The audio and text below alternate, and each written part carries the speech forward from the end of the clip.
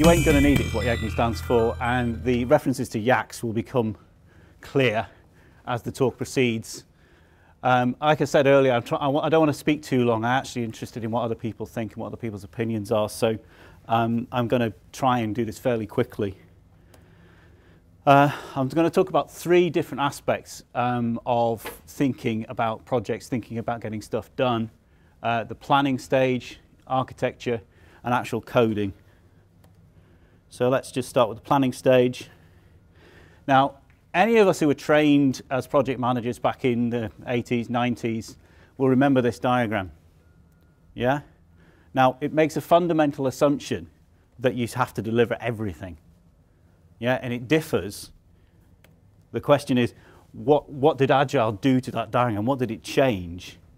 Um, and when I was reading this book, um, I uh, came across this lovely picture, which, and these are the actual constraints of, any project. And as you can see on the end, um, what they added, what the um, Agile people added, was they realized that scope can actually change.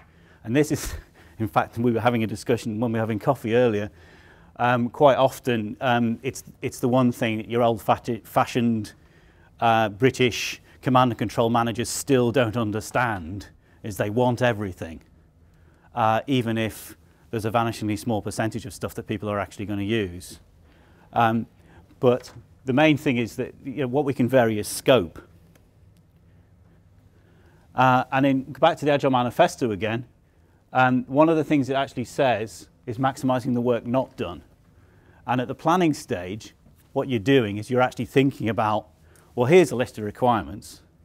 What am I going to do in this iteration, whether it's a sprint or it's a bunch of stuff you've stuck on your Kanban board or whatever, um, and what am I not going to do? So you've actually got this whole um, thing about, you know, what am I not doing and, what, and, and controlling the scope. So when you're planning, you're controlling the scope, which is actually even though we in this room, it, it's obvious to us. Back when I was being trained as a project manager in you know, a million years ago, it wasn't obvious. And, and that's one of the things the Agile movement gave us all. So it's about managing your backlog, working out what you're going to deliver, working out how you're going to deliver it. Okay, so that's briefly when you're planning, you know, it's, it's making sure you, you, you're doing what you want to do. Now, architecture, this is an interesting problem. Um, lots of people talk about uh, agile processes and doing the architecture as you go along. And lots of people say they don't know how to do it. Um, and I have to acknowledge a debt here. I haven't stolen Dan's presentation, but I've stolen some of his ideas, and I, I don't want to be seen to be the guy that came up with them. So he talks about complification. Um, and I thought this is an example. I'm not sure if this, this roundabout is still in Swindon or not. Um, but it's an example of the human tendency um, to take um, a simple thing and see a pattern that isn't there because when we were you know, running across the tundra all those millions of years ago, it, imagining there was a lion there and running away from it and seeing a lion there and running away from it actually meant, the, you know, meant we survived, regardless of which. And we, as human beings, we have this tendency to see patterns, to look for solutions, where in fact, this is just five roads joining. You know, an ordinary roundabout, okay, it's not as much fun to build, but it would meet the requirement. I also love this yellow bus here.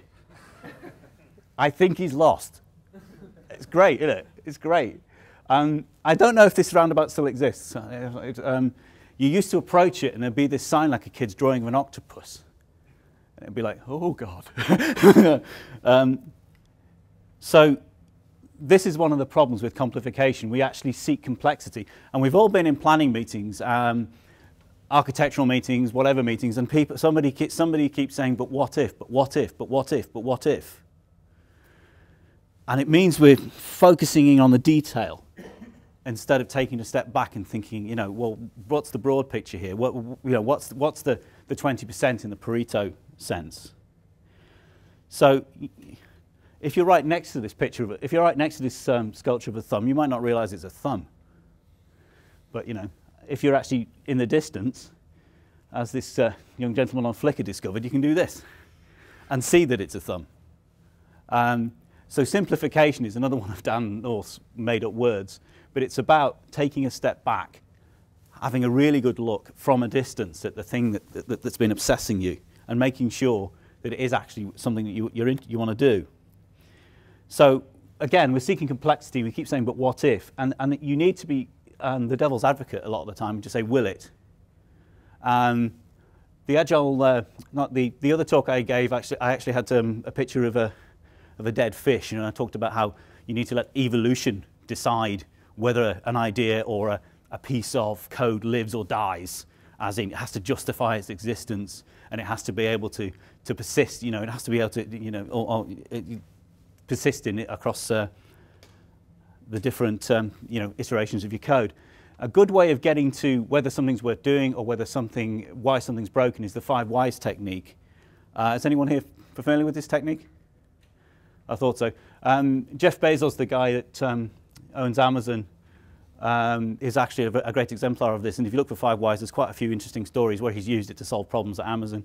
And Amazon definitely know what they're doing, I would think. So it's, it's, it's a useful technique. You just keep asking why until you get to the root cause. So it might not be five, it might be 10. Um, sometimes you find you're reaching an interface with another company or another organizational silo, but that at least means you, know, need you now know that you need to go and have a conversation with those people. So it's a, it's a useful thing, and then certainly if you're talking about architectures, if you're talking about interfaces, you're getting to where the, the meat is. Okay, um, this picture here, it's, you know, if ignorance is bliss, this must, this must be an orgy. As you can see, these guys have, have, have stacked these things that say do not stack. Lots of them, right? And the other thing about architecture, and the other thing that, that Dan talks about, but again, it's one of those things that's blinding obvious when somebody's pointed it out, is homing in on your own ignorance. Now, this, um, that picture is basically saying, oh, isn't the, the, the truck driver, the, the forklift driver, stupid for ignoring the label? But who's actually being stupid there? Who designed a warehouse where the guy could stack things that, not, that aren't meant to be stacked?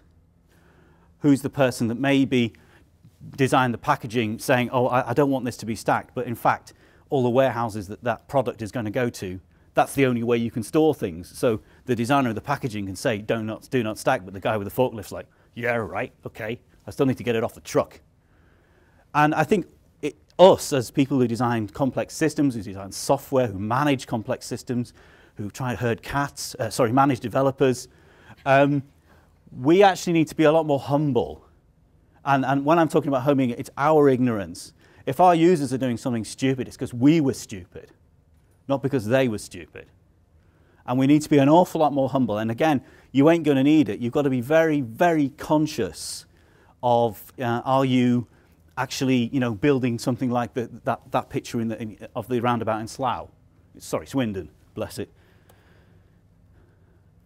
Another thing about architecture, in fact, we were talking about this at coffee as well. Um, this is a picture of some silos, yeah?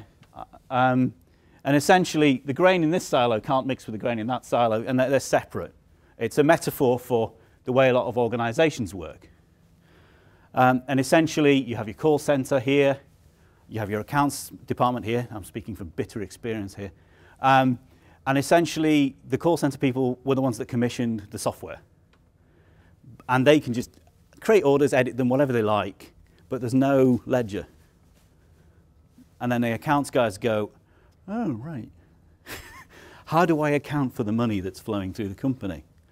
And because people were thinking in silos, you might build an accounts package, you might build a call center package, you might build an operations package, and because we, as human beings, we think hierarchically, we think org charts, and we see these divisions, what we do is we, we, we do these point solutions and then get some string, bit of chewing gum, plastic, cat gut, whatever, and try and join them together with interfaces and what have you.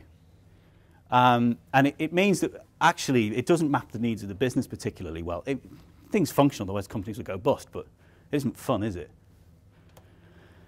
Um, I've reread this book recently. Um, it's a bit of a Java fest, but there's some brilliant ideas in here.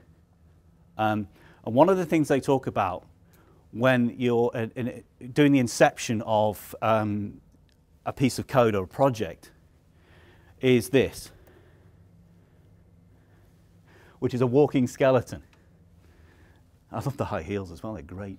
Um, the, but the point with a walking skeleton is it's a slice that goes right the way through the organization. So in the, in the, in the, the example I was given before, you start with the call center and then you look all the way through to how a single penny gets taken here, gets refunded, get all the other processes that may happen and ends up in the books. And because you look at a slice across the organization, you actually end up with a process that meets the needs of the organization, not with a process that optimizes each silo and breaks every time you have high demand here or low demand there. Um, that's a slice, sorry, feeble. Um, one of the uh, things uh, we um, started to do it on the beach and we started to, um, to we're moving to, to Kanban away from Scrum. And one of the things we're talking about is minimum marketable feature, which is essentially something you can ship, a slice. And even if it's very thin and you know your penny gets arrived here and a, a little green box appears at the other end, you've explored all of the architecture. So in terms of Yagni, in terms of you ain't going to need it, you actually you're, you're, you're going the other way and homing in what you do need, and you're doing it across the whole organization. Okay, so we've covered architecture. Now we're going to have a quick look at coding. Actually, uh, coding is probably the guts of what the talk here. Um, the interesting thing about trying to do Yagni principles, if you're a beginner, you need context-free rules, which is basically do this, do this, do this, do this. If you see it's blue, then do that. That's the only way beginners can function. And a beginner is someone who follows a recipe, like you know, a cooking recipe.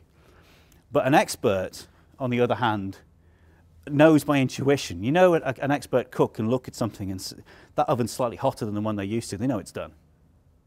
But a beginner would say, oh no, we haven't had 22 and a half minutes yet. So it, it's, it's an intuitional thing, it's a visceral thing.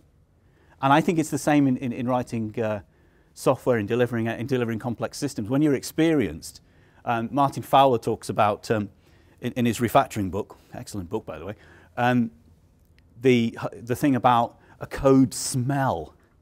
You look at something, you just go, ah, it's just not, I can't put my finger on it, but I've written code like this before and it bit me. You know, and Fowler, bless him, you know, he's actually categorized those and given us a language to talk about the code smells, which is great. Um, but it's, it's a very, um, it's very difficult when, it, when you're an expert to explain things necessarily. Um, the other thing problem beginners have is this idea of infinite regress. You don't know where the detail stops. You don't know where the line is drawn.